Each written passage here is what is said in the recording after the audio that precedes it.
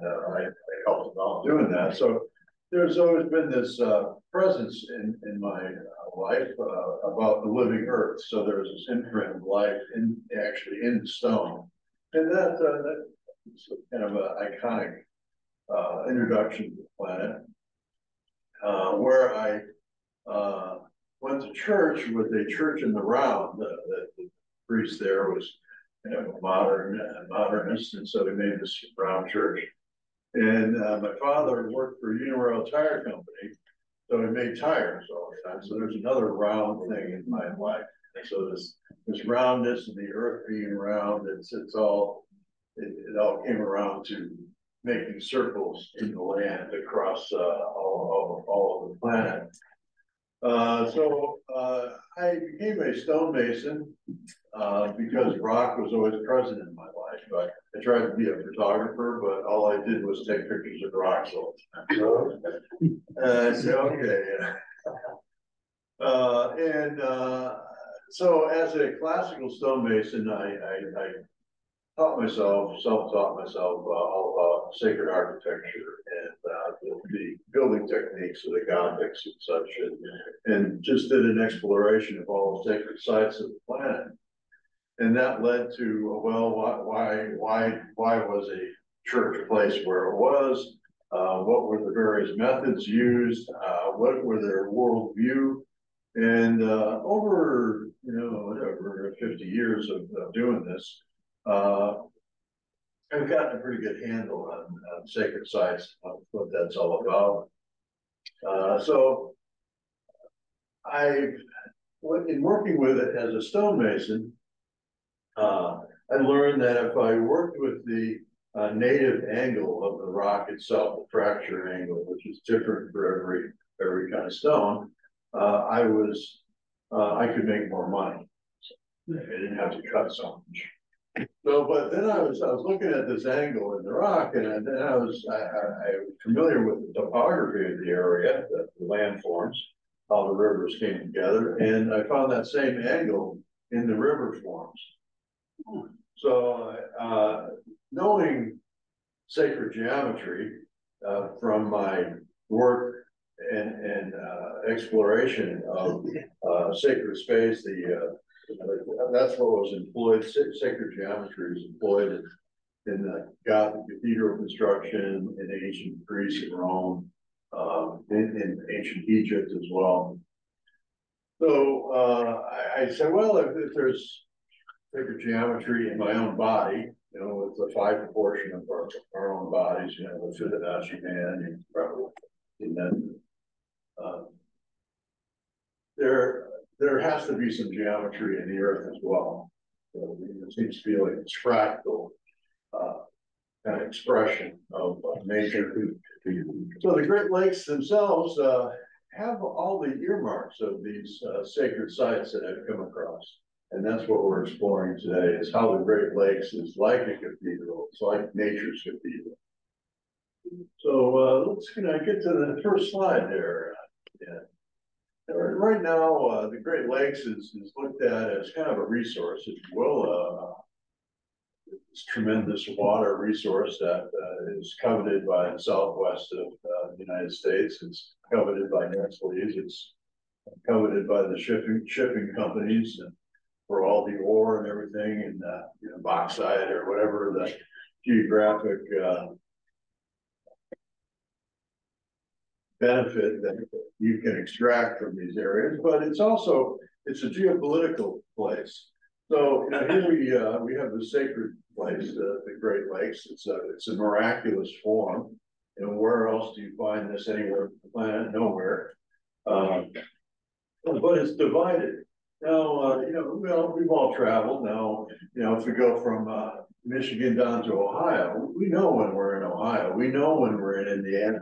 We know when we're in Illinois or Wisconsin. There's a different like uh, vibration. There's there are different laws. There's different uh, nationalities. There's different politics. You know, so all all those um, different geopolitical uh, worldviews, if you will, uh, have a, a certain energetic signature to them. So those, those signatures are all dividing up, the chopping up the, uh, what was a unified water into, uh, multiple different, uh, geopolitical zones. So that the, the waters themselves don't have this feeling of unity because they're divided into two nations, one province, eight states, five lakes, lakes, but, you know, one pure spirit water. So I'm, uh, yeah, so next slide, yeah. uh, I get that one. So, you know, here we have, uh, you know, the native perspective of, uh, I, I, you know, I, don't ask me to pronounce these, these words. Oh, that's really The. Ojibwa really, you know, they, they- have these long, some, long words that I just, kind of, but Gitche Gumee is in there. So, each, uh, on the shores of Gitche Gumee, by the big sea shining waters, was a wigwam of Nokomis. You know, you, you know that poem by Longfellow? Yeah. But then we have this, this watershed around the Great Lakes. I mean, look at the size of that watershed. It's. It's not the Mississippi River that's filling up these lakes. It's just these, these small rivers. You know, where is all this water coming from? Oh, there's a glaciation and such, but. It's just a miraculous form to have this amount of water in this small of an area. Wow. Uh, so that's, uh, you know, a, a simple. uh,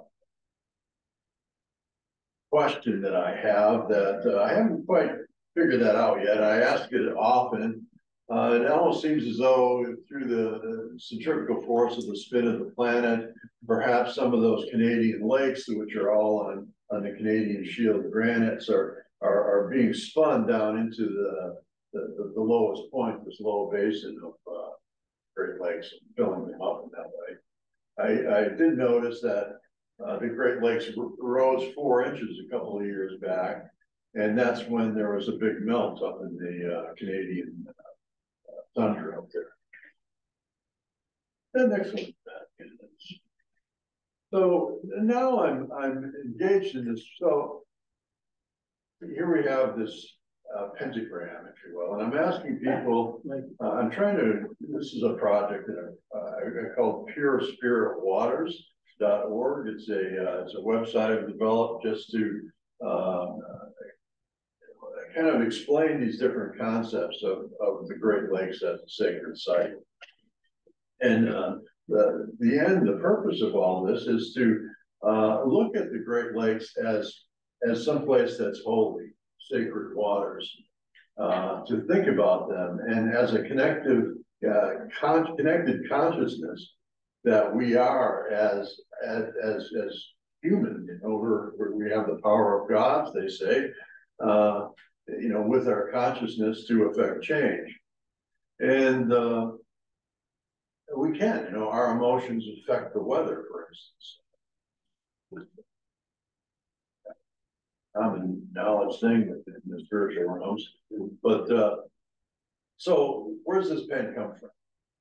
Uh, this pentagram, and what is the pentagram? Uh, you know, it's, oh, the Pentagon, and, uh, that there's a Wiccan association with it, uh, you know, the casting of spells and such, but, uh, the pentagram or pentagon is, is really a life, it's a life form. Uh, it has this relationship of phi between all its various angles and what different lines that you can draw through it.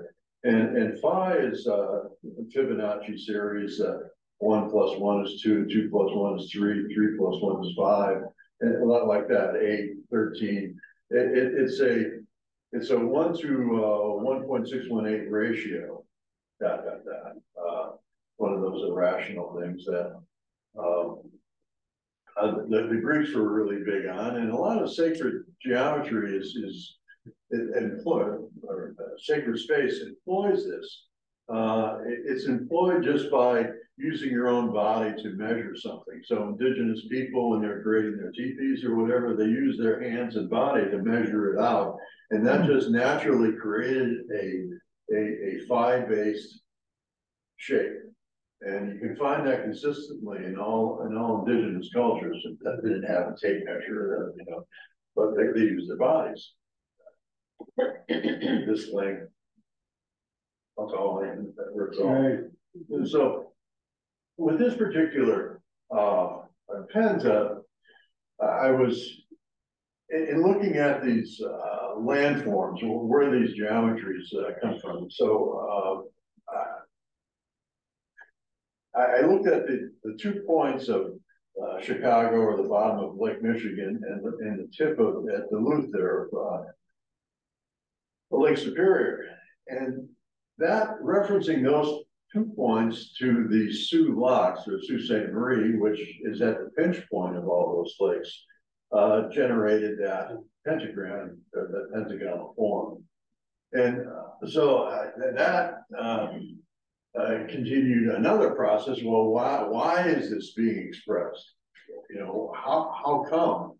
You know, and and I, I see that happening more and more. Uh, uh, in my observations of, of landforms in uh, nature's forms, you know, the appearance of the pentagram of that that particular angle. So we go on to the next one, and so you know, what is this? And, uh, so uh, well, it's water.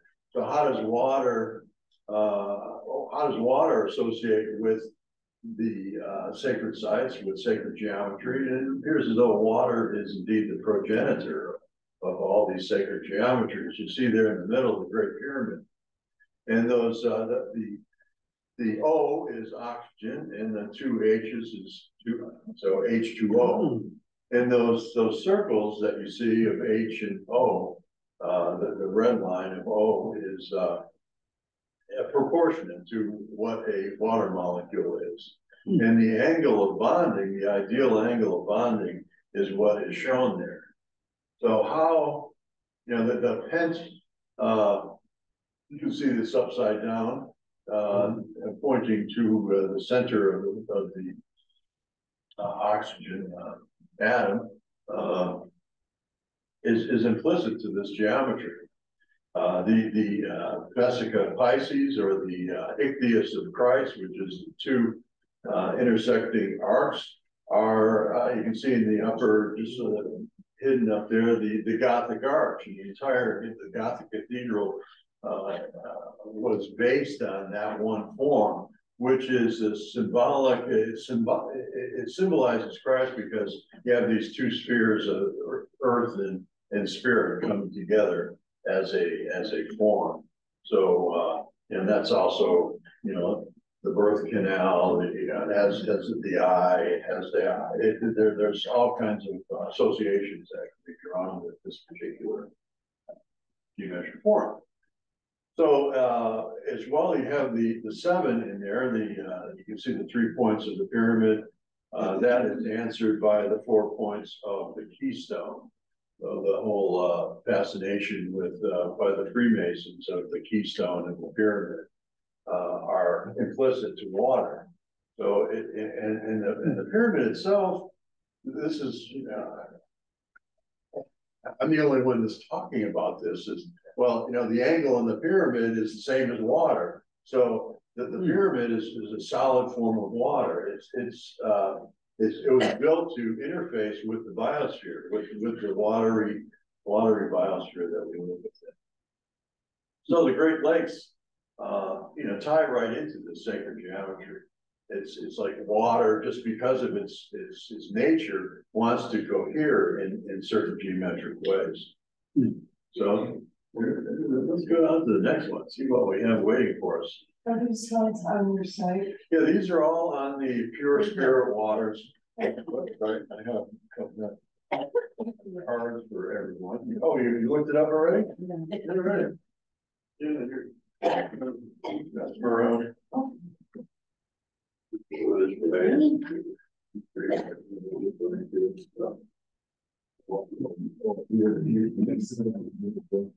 The website, I need to get some cards printed up. But, uh, yeah, yeah, so, uh,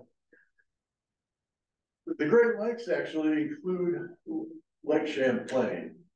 So this is that, uh, numinous uh, means uh, uh, a spiritual light. And uh, the, these lakes have crisscrossing throughout it, uh, what are called ley lines. Uh, you see there, uh, LEI, uh, Kachina Ley, that one comes out of uh, the southwest. uh, First Nation ley comes from uh, Boston. uh, Through Shelburne Falls, Massachusetts, and. Which is a significant place in, uh, in, that it's the center of the North American tectonic plate. Uh, which is what I've written about in my book Gaia Matrix, uh, I've written three books so far on, on this subject. And, uh, so. There, there's this idea that, you know, what is it? What, you know, what are these phenomena? You know, so we have this phi spiral, that, that, as far as he coming into uh, Sault Ste. Marie is with a phi pattern. Uh, you get these other alignments, like the one between Montreal, uh, Toronto, London, and, and Detroit. That's also a, uh, a rail line that goes along there. Hmm. But there's this, uh, we tend to cohere in lines, we tend to cohere in circles and, and, and different geometric shapes are, are- can be, can be found. Uh, recently I found a, uh, a ring form over in, uh, uh, Eastern Europe that unites all the high culture cities, you know, like Prague and Berlin and Moscow and all, all in, in, a single ring, uh, Oslo, uh, Helsinki and, St. Petersburg, uh, you know, all in this one ring.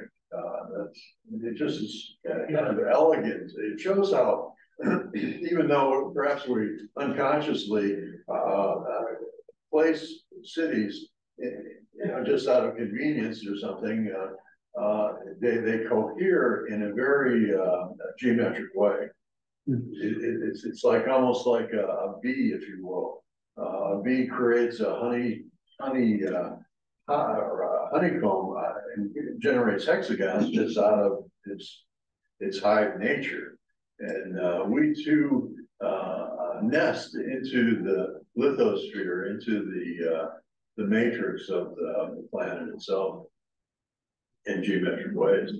So by uh, acknowledging this and seeing this and appreciating this and loving this and and and seeing these these space as holy. Uh, the waters, the, the idea with all this is that the waters, if they're seen as holy and, and acknowledged as holy and appreciated as holy by uh, a, you know, the hundred and forty-four thousand souls of, uh, uh, you know, who are awakened to this, that water would, uh, get into a structured place, into a structured, state of, of renewal and, and create a uh, regenesis machine that potentially could, um, uh, affect the whole biosphere because just of, of its, its nature and volume and position on the planet. So let's go through this next one here, see, oh, there's water, water, water is everywhere. So, uh, we have this mitten, the Michigan mitten, oh, I, I live here, you know, everybody wants to use, uses their hand, but, but it's. In, in the, uh, ancient caves, Hmm. uh, handprints were shown to acknowledge that this is a sacred place. Uh, the, the, the hand of Fatima down there in the lower right with the eye in the center, that's, this, is this is this place is blessed by the sacred. This is, this place is holy. Uh, that, that spiral, uh, spiral hand is a, is a Hopi sign. And, uh, there, there's a topographical, uh, a map there that, that looks like fingers in a hand. That's in, uh, the Sacred Valley in Colorado called uh, San Luis Valley, uh, acknowledged by, uh, the Navajo as, as being their, their western sacred lands. Uh, so, and that's also the same, uh, topographical map on the top.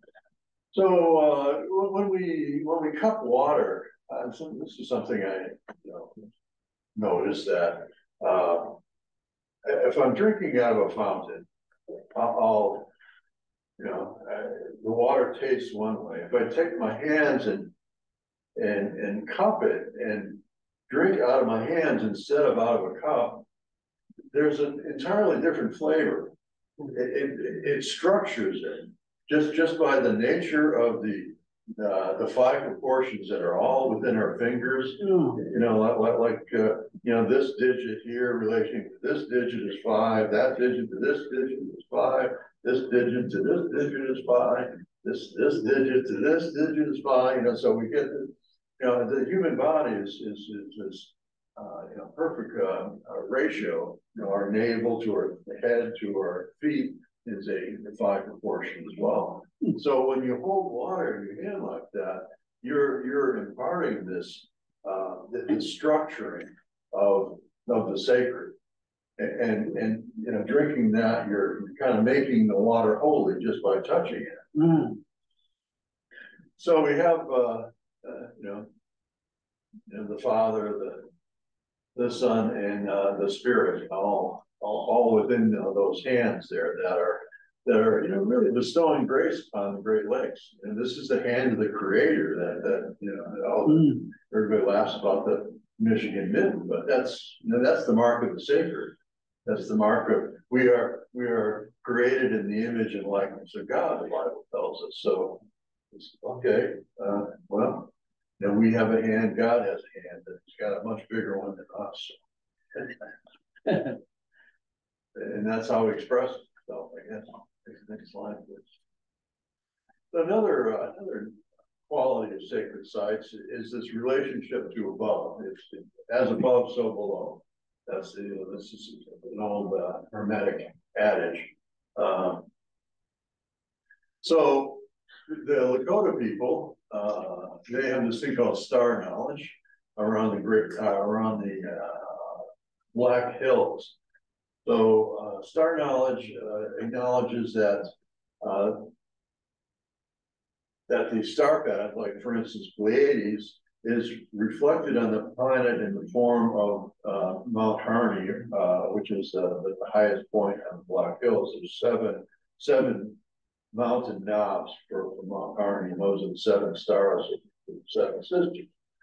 Hmm. And, uh, they, they would travel around as a migration every year around the great, uh, I keep saying Great Lakes, around the, the Black Hills to, um, for different ceremonial purposes. They'd go to, uh, Bears Lodge, also known as Devil's Tower, for a certain time in the year for Sundance. Uh, and each constellation was associated with a different place. Uh, in Europe, uh, the Gothic cathedrals were laid out, the Marian Gothic cathedrals were laid out in France in the form of the constellation Virgo. So, uh, I said, well, okay, if this is a sacred site, what is the, what would possibly be the constellation? And, and there's this constellation called the Teapot. I said, well, you know, the Great Lakes kind of looks like a teapot, you know, you got the handle and it's pouring out of the, the St. Lawrence River. And, uh, so, you know, what is that? And that's, uh, uh, in the uh, constellation of uh, Sagittarius. And that, that far point where the, where the water goes out, uh, just off the screen, that point that's right there is the center of our galaxy. And, and, and the, uh, the spin field I'm showing there is, is what the, uh, what it, it looks like at the center of our galaxy. Those are all, uh, I think it's ten, it's, it's a kind of an anomaly. They're, they're, they're ten million year old stars spinning around the oldest place in our, in, the, in the galaxy. You know, they just can't explain it. Why, there should be these ancient stars that are being pulled in, but they're, they're new ones. So, Hmm. Uh, so that, that, the, whole spin of the Great Lakes looks like like a, a dynamic, like a center of a galaxy and it associates with that. So now the, you got this gal with her, with her copper bucket. Uh, she's now, you know, in the, uh, in the ancestors land across the threshold, but she, she walked, walked around the entire perimeter of all the Great Lakes. Uh, burning through, I don't know, twenty or thirty pairs of plus, uh, walking shoes in the process. And uh, she would ho- carry this bucket and say prayers all the time, all the time she was walking. Whenever she came to water, she'd pick up water and, and then she- when she came to the next place of water, she'd dump that water in there and pick up the next bucket. So, a- and then praying to that water and, uh, you know, swinging it with her five body, you know, uh, going along, making, making all things holy and pouring all those prayers back into the water to, uh, to return the lakes to their sacred state. and acknowledge them as a place that's, that water is sacred and, the- and the Great Lakes is a holy place. So, She walked around the, the, all the Great Lakes? all the Great Lakes. What was your name? I Don't remember. Guys, I'm good with names. I, I, I needed to look this, that up before I, uh, it, it was, uh, it's actually a common, uh, English name that she, that she carried, but she was a, a Ojibwa. Which was the Ojibwa, was one of the three, uh, fires that met here on this property. Ah, yeah. There was three councils that met. And it was called the Council of the Three Fire, Okay, and they met right here on this ground. Yeah. Wow. that's, uh, that's a blessing in itself, yeah, there, there- there's, there's an importance to all those historical events, in that, Mhm. you know, mapping those, those historical gathering points out on the ground. You know, I, I, it would end up being a geometric form, Mhm. it just happens that way. Yeah. It's how water coalesces. But she, the, the, the, the water walker. look her up. Wow. Uh, the next slide, so he we established that form and, uh. So now, uh, now we're getting really, uh, getting really deep here. This is, this is this new world view of introducing, so. Uh. I, I, I, I, as a, as a. I, I also am a Taoist. And so I, I got involved with exploring, uh, uh, earth energy vortexes. And, uh, in the, in the research and, and conversations I've had with other researchers uh, around these vortex forms, that they found a consistent ring form. Uh, that- that's, that's in the land that you can dowse out, you know, going clockwise, counterclockwise, or, or, you know, various, uh. uh, you shape forms in, in that way, so it's like, well, where, where does that come from? Uh, you know, why, why is that that way? And I, I'm looking at it, and looking at this drawing that this one, uh, Nick, Nick, uh. Nick Nelson. I came up with, and I know that form somewhere, you know, as a geologist, person interested in rocks and kind of. Uh, insatiable curiosity about things, uh, I remember that the USGS. Uh, model of what the interior of the planet matched that same geometry. So, uh, that's what you see in front of you, is, is this, uh, uh, kind of, uh, idealized form of what the interior of the earth, uh, spheres are, in, in proportional relationships. with one another. And, uh, just kind saying, well, everything has geometry, what is the geometry of this particular, uh, shape form that we see there that I'm calling earth rings? So we have the inner core, outer core mantle and upper mantle with this uh, ringwoodite layer of water that's uh, 400 to 600 miles deep. Uh, so uh, it ends up being a, a, a enneagram, a nine pointed star. And I started looking around, well, where else can I find this? And I actually found it in the, in the human eye. Yeah, it's like, Wow. uh, and it, it's, it's in the, uh, the, the, uh, the orbit patterns of our solar system. It's, it's in the, the star densities of our galaxy. It's, uh, I, I, I've consulted with, uh, uh, physicists about it and, and, and, and quantum, uh, gravity looks like this. Uh, recently we had a, um, a gamma ray burst back in October. It, Yeah. it was the largest one ever detected by the, you know, modern space instruments. So everybody trained their instruments on there to see what it looked like, and it manifested in the same pattern. Wow. So it appears to be some kind of gravitational field that, that, uh, you know, density. So, but, but the same gravitational field is projected out onto the surface in the form of, um, Earth energy vortexes. But these Earth energy vortexes are in scale. They're, they're from a small one out in your backyard to a, uh, a massive one, uh, like the Great Lakes. The Great Lakes is an expression of the same thing. You can, you can overlay that, that same pattern on the Great Lakes and, and, and you see how the various ring patterns relate to the various shapes that are within the Great Lakes themselves. So. Uh. I, I've embarked to go around the whole planet and find these shape forms everywhere on the planet. So the arc of Mexico, California resolves into a circle that then encompasses the entire North American tectonic plate as, as a circular form, which shelter falls at the center. You have, uh, oh, a lot like the arc of Indonesia with Bali at the bottom, of it. The center of that is Mount Pinatubo. Uh, you have uh, the uh, Yellowstone caldera at the center of a ring of mountains, the uh, uh, you know, cited by the Cascades and Sierra Nevadas, going down to Sedona and up to uh, Banff Lake Louise in this in this large, fourteen hundred mile wide uh, ring, and uh, coincidentally, that same ring is the same size as the Earth's inner core. So there's this projection from the core to the outside of the, of the planet. And uh, well, what is this? I asked.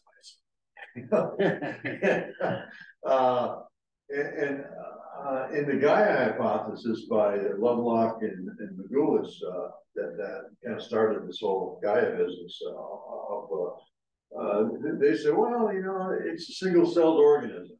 And that's the best we can come up with is a, as a living organism. It doesn't have a brain and, you know, but it's a, it's a cell. So, all right, so I took that, that, that indicator and started looking at the planet as a cell, Earth cell. And every cell, uh, you know, uh, it, uh, Robert Lipton, uh, uh, he, uh, he's a kind of a new age lecturer. He was a bio, uh, bio Bruce Lipton. He was a biologist and his, his fame came from uh, doing this experiment where he removed the nucleus of, of, a cell and the cell continued to function in the cell. So he, he learned that the membrane was what are the brains of the cell. Mm. So, and the membrane is is uh, populated by all these ring forms that are have uh, have geometry to them, hexagons, uh, pentagons, uh, just plain circles, some blobs, but they all have this central point that uh, that connects it and, and, and acts as a uh, as a communication uh, uh, corridor between the inner cell and outer cell, and uh, the cell excretes this, takes in this enzyme, does this type of thing, and, and just monitors and, and manages the cell. So we are we are in this membrane suit of the planet and our consciousness directly affects this membrane suit. So sacred sites uh, that I found at the center, you know, at the center of the Great Lakes is an Ojibwa uh, burial ground and also uh, the largest single stone uh, obelisk that the Masons ever erected right there in the same graveyard at, at the Soo Locks, marking the center of uh, the, the Great Lakes. So that's kind of like a, uh, you know, a, one of these integral membrane protein shapes or integral membrane Pluton shapes that, that, that are communicating, that can be communicated with planet bodies. So uh, by, by or, this very organized water form uh, with a generated uh, coherent consciousness field of, of the sacred uh, would communicate this this message of, of renewal and regenesis into the cell by, by taking in this the, these cosmic frequencies from above. So how does that how does that get delivered?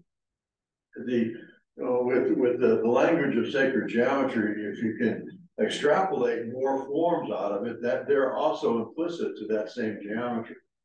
So in the, in the study of Platonic solids, you, you have the uh, five solids, you know, each related to a certain element. And ether is the dodeca, dodecahedron that you see there, uh, that, that, that is formed by the 12 plates of, of 12 pentagon, pentagonal plates uh, that you see uh, depicted there with the Great Lakes being one of the plates of a dodecahedron. So how, if you project that in scale into the planet, it reaches down into the ringwoodite uh, nebula water. So, uh, again, this is real, we're getting deep or we're getting really far out here, but, uh, the- Orion Nebula, ten minutes? The Orion Nebula is a, uh, is, making water at a pace of sixty oceans a day. So, uh, tremendous amount of water being, being made in nebula. So, and nebula is where solar systems come from. So water coalesces, collects dust, it generates, uh, planets, solar hmm. systems, everything starts to ignite because of spin. But that water is trapped inside the planet. So by, by reaching down deep, we are tapping into the original water, the the nebula water. That, that has the, the first memory. And, and from this memory of that water carries, we can transfer that via our, our integral membrane protein on Earth cell out to the surface. And similarly, we can draw in celestial forces from above because the same, the same uh, dodecahedron reaches out to the uh, uh, exosphere, which is where the, uh, the- atmosphere uh, ends. So this is what uh, I have done this for the whole planet, finding these various earth rings. Each one of these earth rings is centered by a sacred site, honored by native peoples. It suggests to me that, that the, the ceremonies that were done by, by uh, the indigenous peoples of the world at these, the center of these earth rings that around the world, uh, were, were done as an act of, of world maintenance. Uh, by, know, going, going there and doing ceremony and sounding these things, we, we, we generated a healthy field, a standing columnar wave. And when you create a medicine wheel, uh, that creates a stand standing, standing columnar wave that, that harmonizes the field around it. Uh, so, you know, to me, you should pay the medicine people to go out there and pray. It, it's, it's just so important to pray at sacred sites and honor sacred sites. So this, this greater ring is the Mississippi River. You can see the, so Lake Itasca where that headwater sign is and down to the, the delta of the Mississippi, uh, is a, is a, uh, a radius. And that radius is the same size as the moon. So, you know, it's, it's like everything's interconnected. Um, and there's the pure spirit waters right on that. So you get that, you get the pure spirit water spinning in that life-giving phi, uh, uh, intentional space of a, uh, you know, like, when, a Wiccan past, uh, uh, makes a curse or a blessing or whatever they're doing, or some kind of intention, they put it inside a pen because it gives it life. You know, and, and, and that's, it's giving this, this ring form life and motion and, and energy. And, uh, conveying that into the, into the planet and and scale. You can see the Teton Earth ring over there marked by the arc of, of those mountains. Uh, you can see the, the arc coming out of the Great Falls ring radiating out to the, the continental ring. Uh, this is all described, not this particular image, but the, the, the idea of the continent, uh, being circular as I uh, explained in the book Gaia Matrix. Uh, so, yeah, let's go on to the next one. We're running out of time here. And so, you know, after going through all this, you know, just all these rings everywhere, you know, where does, uh, where does it all, you know, how do, how do we just, what, what is the gesture of bestowing Mm, that, that we can place upon our, our world? And how does the Great Lakes uh, play into that? So I, I was called, I do these, these land studies and I was uh, called upon to look at uh, Costa Rica. What's happening in Costa Rica? There are all these spiritual centers down there. People are they're- They want to create these, uh, these new age centers there. So uh, I, I, I did this little study of Costa Rica and found that there is the- these linear, linear lines that the, the edges of the peninsula is coming out and on, onto its, uh, south coast. Uh, and, and it's alignment of mountains through it. We're all in parallel lines. Well, one of them followed this volcanic line. And so, well, let's see where those volcanoes go. And it ended up going in a straight line right up the string of volcanoes to the Pyramid of the Sun at Teotihuacan in Mexico. So it's, it's like ley lines feed sacred sites. It- it's like it's, it's like New York City's a sacred site. It has five, five ley lines coming into it. So, uh, places a lot of creativity always have these ley lines. So, but I took that into meditation in context of the Great Lakes and I just started seeing this, you know, this gesture of the continent. And, how that, how that ley line out through uh, Mexico City, uh, related to the Great Lakes and came up with this, this, this form that. Uh, I mean, takes in that, the, all, all the shape of the Great Lakes and the, the, the dynamism of the planet. Into a single gesture. Now, uh, I, I just lived in Arizona for the past four years, working on a earth ring down there. Uh, and I, I was trying to, we were bringing water to the west, that was the part of the project.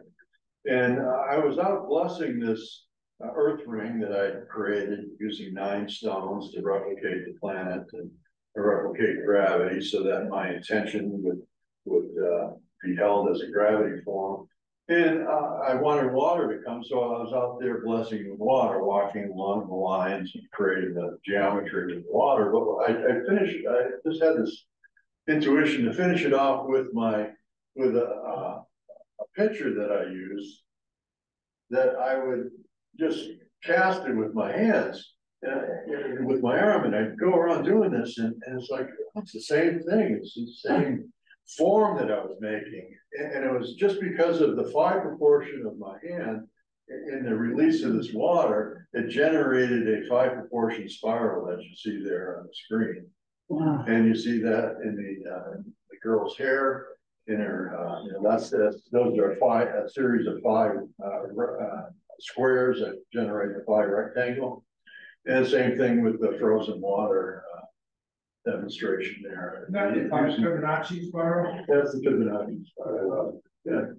So, there were, you know, this, this, the stone, and, and just, uh, you know, feeling the, the Great Lakes as this, the stone. That, that, we're, we're at this, this apex of, of grace that, uh, that, that is part of the world. Um, uh, the, the, the, the lakes will become enlivened, the water will become structured. The water will return to health. And, and this is, this is only done, you know, okay, you know, humans have part of it, but there's also, uh, the elemental forces. That are also at work all around us and, you know, there has to be this collaboration between the material world, which we ground in our third dimension. And the, and the, uh, and the beings of these other dimensions that, that also co-collaborate, co-create with us. So and that's, that's that monolith that you see at the Soo Locks. It came from Connecticut, by the way, that hmm. Stonington, Connecticut. So you could We have wrap one- up One with- more, Yeah. Extend to, say, five minutes, if you. Basically, so That- if That'd be the max. yeah, all right, now I got another slide, see what we got here. So, uh, again, looking at this as sacred, you know, we have the as above, so below. Uh, that's the Indiana Jones Cup, uh. That I from the, uh, uh, Wiki Commons. And uh, the Sombrero Galaxy, that's just the, this, this idea of, you know, it's just, it's the grail, you know, holy grail vortex that, that, that we have before. us. Uh, Yeah, No, amazing.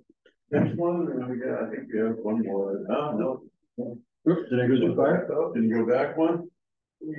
There you go, sir. Yeah, so, uh, this image of, of, uh, Jesus was one that was manifested by this, uh, Hindu mystic, uh, named Sai Baba. When Yeah. Partha.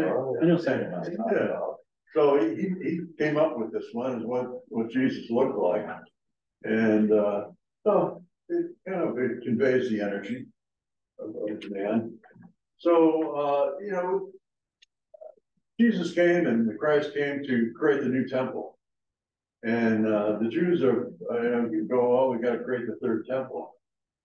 And, really, the, the third temple is the planet itself, in my, in my estimation, and that's what, but with, with the, the mystery of Golgotha, was that Jesus, you know, shed his blood into, into the waters of the world.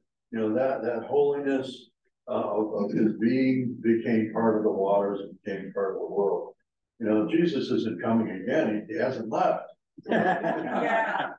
He's still here. So, you know, honoring the waters as, as the, the waters of Jesus is really, uh, you know, what the. The message is here, in the end of the stuff. I just Googled Ojibwa lady that walked Yeah. Great Lakes, that's her name, Josephine. If anybody wants to, Uh, wants to Google that, there's a whole big article about it. Mandamin, yeah, Yeah, Very, yeah, thank you. great, great person, very, very close. Then those, those stones are the, the limestone, oh, oh, that one last piece, there, the limestone. Uh. Of the, this is uh, of the, uh, uh, the, the, the wall at- in Jerusalem, the the Wailing Wall, that's what you see in the background there. Oh. That's what's left after Titus destroyed the second temple. Uh, everywhere you, you see limestone, you find sacred sites, like, uh, the south of England, Stonehenge. Oh, I see. You know, uh, Jerusalem, limestone, uh, The, uh, Great Pyramids, limestone, uh, France, Chartres Cathedral, limestone. So it's like the, the nearest we have to a living rock is limestone.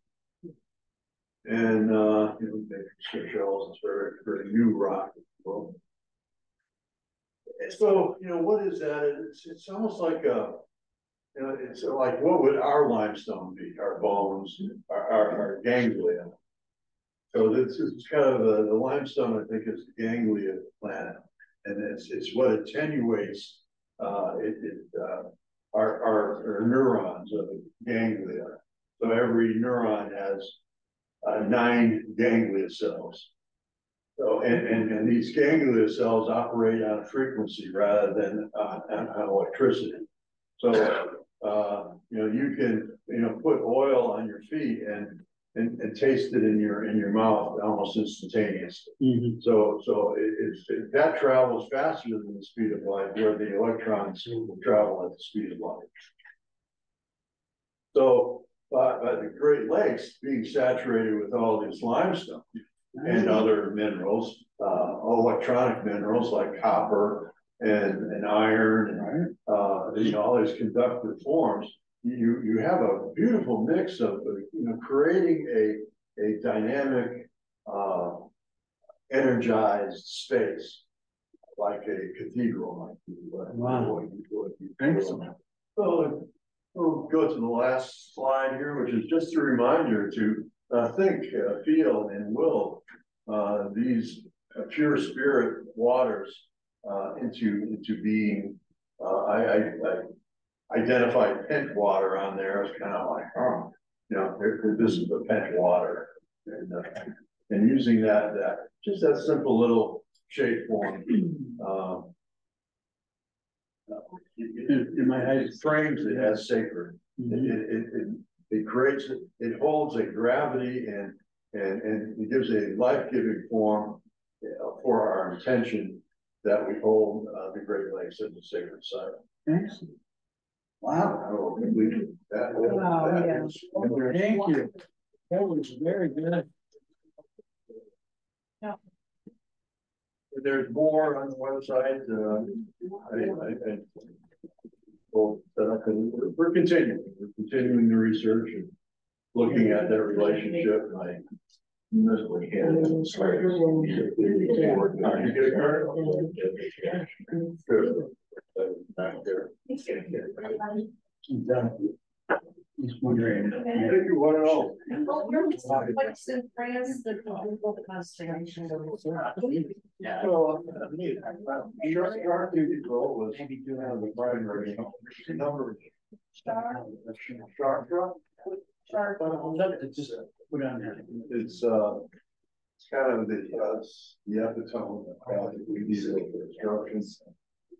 I don't know, three hundred years old. Yeah. And there's you look up Marian Cathedral, you know, uh, one of the Marian, and uh, Notre Dame. Yeah, yeah. Paris. Yeah. That was good. Yeah. And those- when you take all those various, uh, churches,